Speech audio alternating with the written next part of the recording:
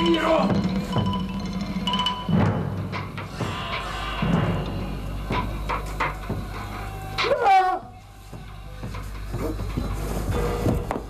ماء كثرة ماء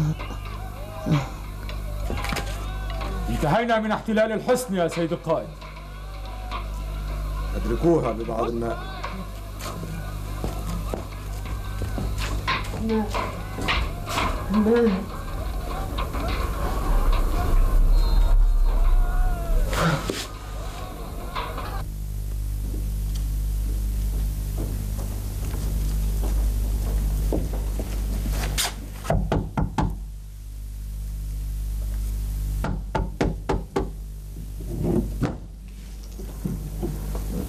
بنت أبو تفضلي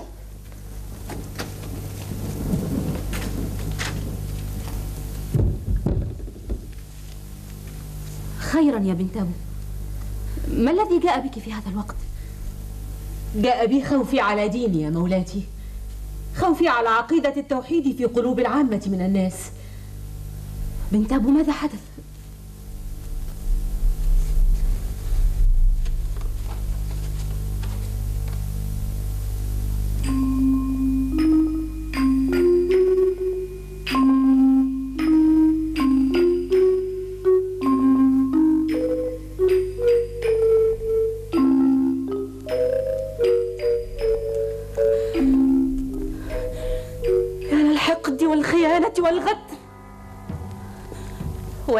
يا مولاتي وقفوا عند هذه الجريمة التي اقترفوها.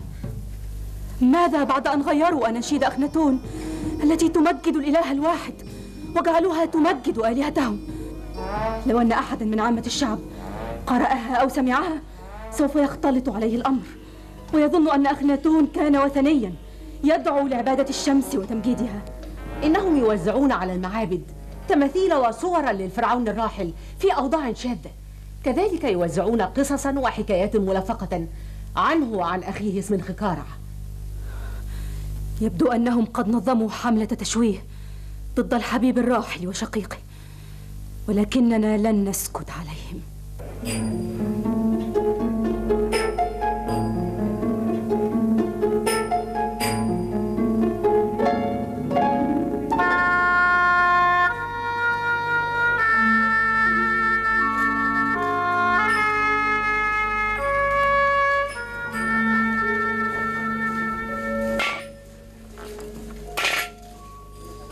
بك يا اختاه لقد رحل رعموس وترك لك هذا الوعد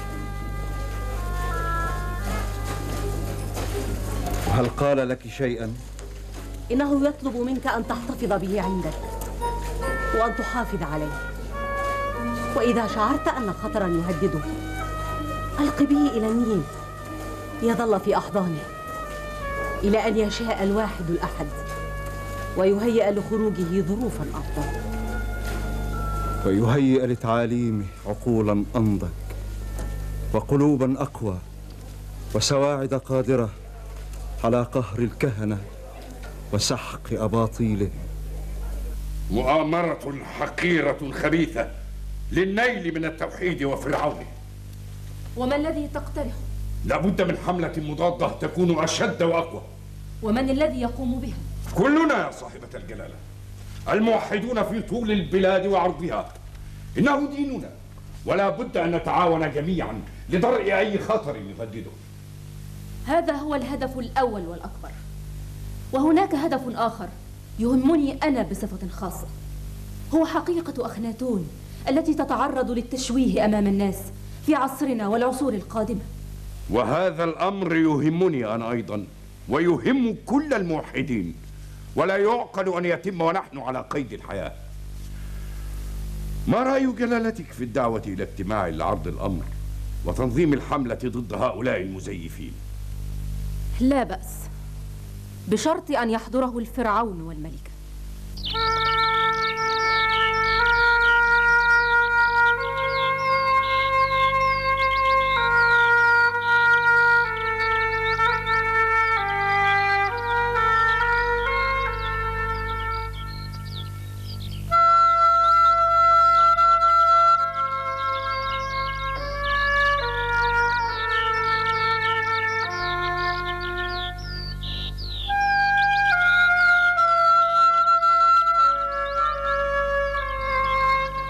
أبشع هذه الأفعى.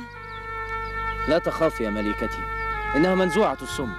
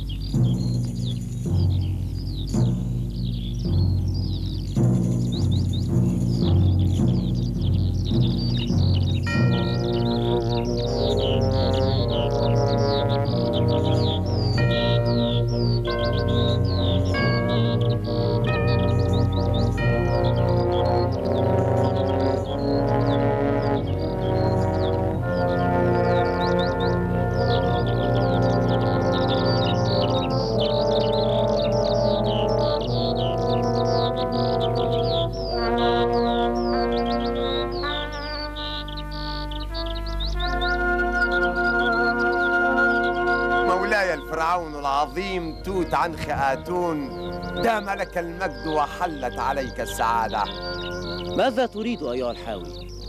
هذه الأفعى العجوز لها قدرة خاصة يا مولاي إنها تتنبأ بالزلازل والبراكين وتعرف ما تطويه الأيام المقبلة من وقائع وأحداث حقا ما تقول؟ وهل يجرؤ مثلي أن يقول غير الحق بين يدي جلالتكم؟ دعنا نسألها عما تخبئه لنا الأيام. هيا أيها الحاوي نفذ للملكة ما تريد.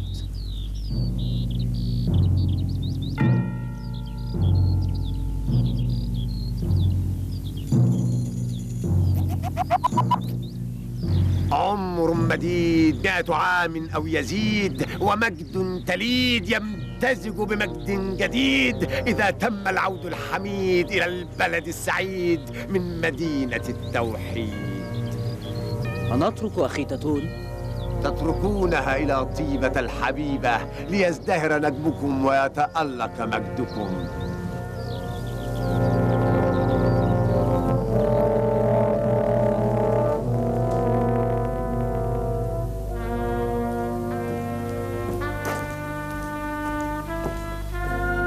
كيف كانت رحلتك؟ كل شيء تم كما اتفقنا يا صاحب القداسة أحسنت التمهيد للخطوة القادمة وما هي الخطوة القادمة؟ أن نستدرج الفرعون والملكة إلى طيبة أين الفرعون والملكة؟ الفرعون والملكة في رحلة صيد اليوم وغدا تفضلوا الحق أن تصرف الفرعون هذا غير سليم. فما كان ينبغي له أن يتخلف عن اجتماعنا لأي سبب مهما كان. دعونا نتحدث فيما اجتمعنا من أجله. ما قام ويقوم به كهنة آمون. عمل إجرامي يستحق الردع والتأديب بمنتهى القوة والعنف. أنا لا أريد ردعا ولا تأديبا. إنني أريد الرد على حملتهم بحملة مضادة. وأيضا بحملة لتحصين الشباب والعامة. ضد هذا التزييف والتخريف. وكيف يكون ذلك؟ دعوني أتولى وضع الحملة وتنفيذها أنت خير من يقوم بهذا العمل يا باك. فادرس الصور والتماثيل والكتابات التي ينشرها كهنة آمون على الناس ورد عليها بما يدحضها ويثبت كذبها سأكون معك يا باك وأنا أيضا. كلنا معك يا باك. اعتبرنا جندك في هذه الحملة. أما أنا فسوف أنتظر عودة الفرعون من رحلة الصيد لأحدثه في الأمر. وأبين له أن تخلفه عن اجتماعنا هذا لم يكن تصرفا سليما.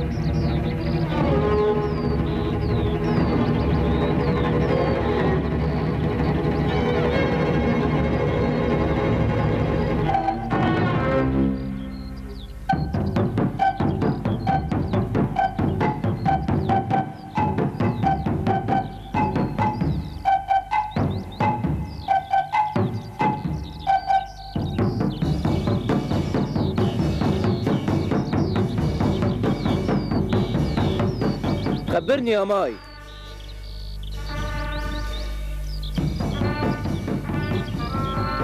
أمرك يا مولاي. أصحيح أن الأفاعي تتنبأ بالزلازل والبراكين. أجل يا مولاي. إنها تشعر بقرب حدوثها وتهجر مساكنها على الفور خوفا من الهلاك. وهل تتكلم الأفاعي؟ هي لا تتكلم كما نتكلم نحن ولكنها تصدر أصواتا تكون أحيانا كالصفير وأحيانا أخرى كالفحيح والذين يتعاملون معها يفهمون الاثنين ويفسرونهما وهل تعرف الأفاعي ما تطويه الأيام المقبلة؟ من قال هذا يا مولاي لا تجب على سؤالنا بسؤال يا رئيس الشرطة. الحق أني لا أستطيع الرد على هذا السؤال يا مولاي. لقد تأخر الطعام سأذهب لآمرهم بالإسراء في إحضاره.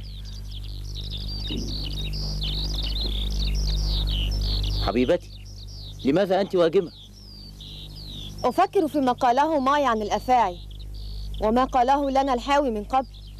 ما رأيك في أن نحدث آي في هذا الأمر؟ لقد خطر هذا في رأسي أنا أيضا. أخناتون كان بشرا يسري عليه الخطأ والصواب كأي بشر. ألا تأخذ عليه شيئا على الإطلاق؟ أخذ عليه استسلامه للسلم. إلى الحد الذي جعله ينسى أن القوة سند الحق. وأن الداعية يبدأ بالكلمة الطيبة ولكنه لا يتردد عن استعمال السيف عندما يستفحل الشر ويستدعي الأمر استعماله وماذا تأخذ عليه غير ذلك؟ صاحب الجلالة أخناتون يتعرض الآن لحملة تشويه خطيرة وإني أربأ بك وبالملكة أن تتأثر بهذه الحملة أو تشارك فيها أيعقل أن نشارك في حملة ضد أخناتون؟ إنه أخي وهو أبي أيضا. أسئلتكما اليوم توحي بأن شيئا من تلك الحملة الشرسة التي يشنها كهنة آمون على أخناتون قد تسرب إليكما وتأثرتما به. إننا نحب مدينتنا العريقة طيبة حبا شديدا. ونرى أنها هي صانعة الأمجاد للفراعنة العظام من الأجداد. المدن لا تصنع الأمجاد للملوك. الملوك هم الذين يصنعون الأمجاد لأنفسهم وللمدن. فلندع هذا الحديث الآن. فقد أرهقتني رحلة الصيد. أرجو أن تأذن لي الآن بالانصراف.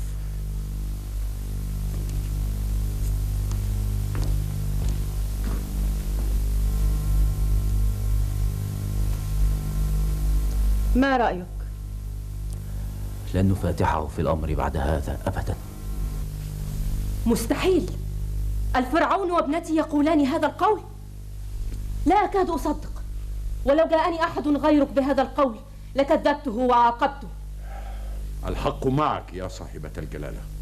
لقد ذهلت عندما سمعتهما يوجهان إلي تلك الأسئلة الغريبة. وقررت أن نتعاون على غسل رأسيهما من هذه الأفكار الخبيثة التي تسللت إليهما. لا بد من ذلك. أين هما اليوم؟ في حفل سباق المركبات متى يفرغان لمسؤوليات الحكم؟ أم يظنان الأمر تاجا على رأس كل منهما ومقعد عرش يجلسان عليه؟ إنهما ما يزالان صغيرين وعلينا أن نحمل العبء عنهما حتى يصبحا على قدر المسؤولية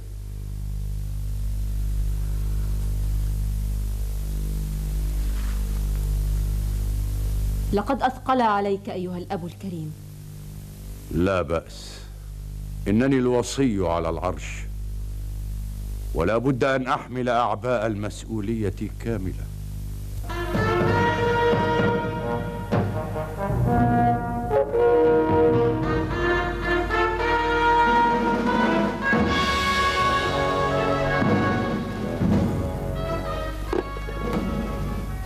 أبشروا بالنصر العظيم.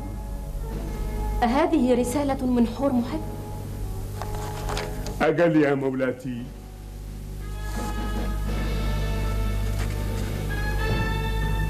مولاي فرعون مصر العظيم توت عنخ آتون دام لك المجد والعز. لقد أحرزنا نصرا باهرا وقضينا على الأعداء قضاء مبرما. وأعدنا الهدوء والأمن والاستقرار إلى المدن الشمالية كلها.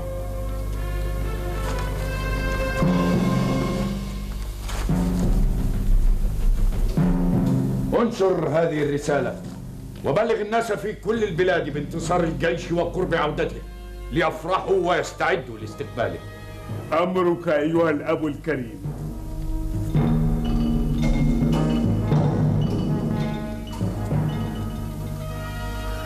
المفروض أن يكون الفرعون أول من يستقبل رسالة النصر هذه.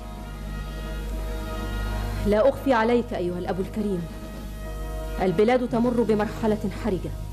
تحتاج فيها إلى حاكم قوي حازم حاسم. وحقا إنك تساعد توت عنخ آتون وتسانده. ولكنه فتى عنيد وهو دائم الجنوح بعيدا عنك. مما لا يجعلك تسيطر على أمور الحكم كما يجب.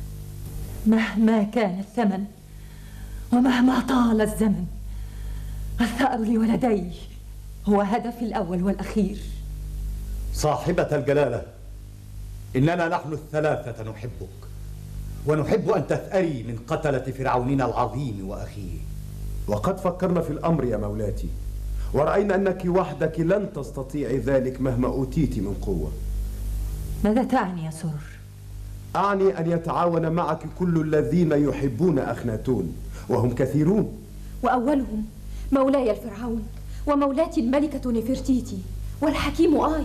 لا تذكري نفرتيتي ولا آي. إنهما لا يريدان الثأر لمولاهما وأخيه. من يدري يا صاحبة الجلالة؟ لو كانا يريدان ذلك لفعله ولكنهما لم يفعلا شيئا ولن يفعله ما يسري عليهما يسري على مولاي الفرعون. ولكني ألتمس له العذر لأنه مشغول باعباء الحكم. مع من إذا نتعاون؟ يكفي أن نعمل نحن الأربعة متعاونين ونسأل الآلهة العون والمساعدة. صاحبة الجلالة كان ولدك أخناتون موحدا وكذلك كان أخوه سمنخ كارع ونحن جميعا على التوحيد. ثم إن جلالتك أسعدتنا يوما. عندما أعلنت أنك قد دخلت في التوحيد. اخرجوا! اخرجوا جميعا! لا أريد أحدا هنا!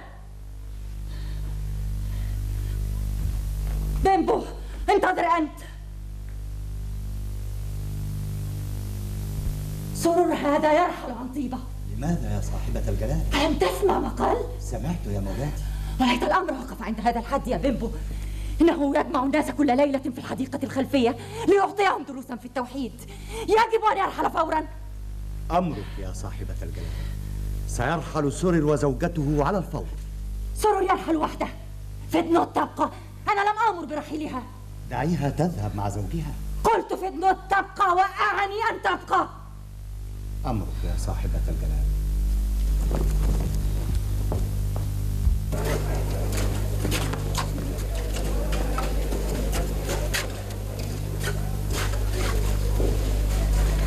هل جئت لتدفعي ثمن الخاتم؟ أي خاتم تعني؟ يبدو أنك قد نسيتي لا بأس ماذا تريدين؟ قلائد خواتم أقراط أريد محو هذا موعد حضوره تفضلي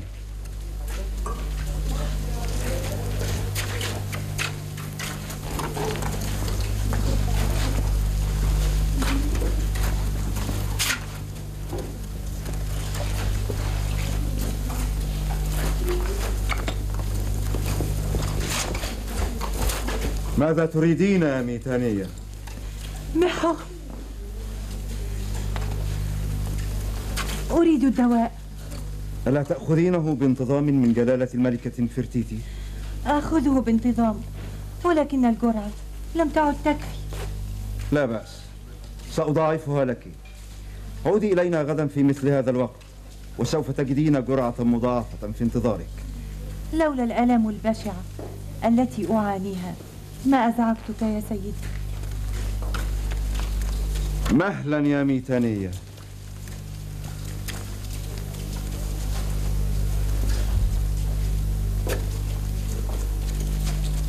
كم دفعت ثمنا لهذا الخاتم؟ دفعت أنا أنا لا أذكر كم دفعت كم دفعت يا تدجيبة؟ أنا أنا لم أدفع شيئا كيف؟ عندما رأيته وعلمت أنه صنع لنفرتيتي سيطر علي الحقد والطمع وقررت أن أحرمها منه وأستحوذ عليه بلا ثمن. اعلمي يا ميتانية أنك قد دفعت فيه ثمنا باهظا ثمنا لا يقدر بمال الدنيا كلها. أنا لا أفهم شيئا. لقد دفعت فيه صحتك. قولك يخيفني. أفصح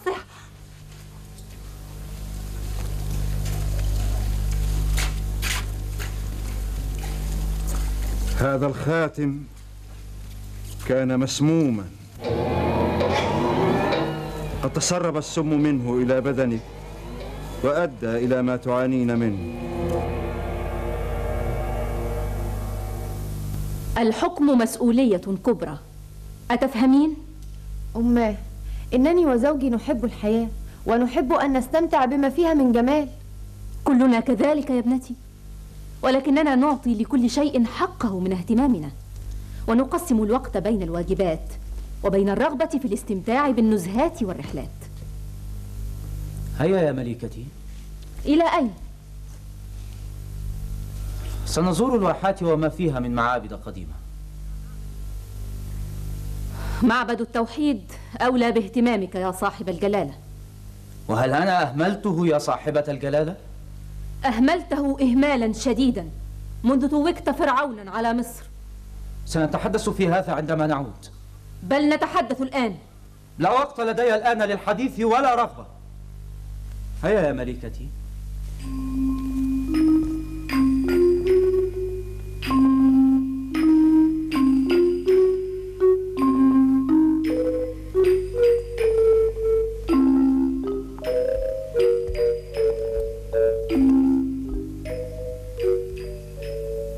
بك يا ابنتي؟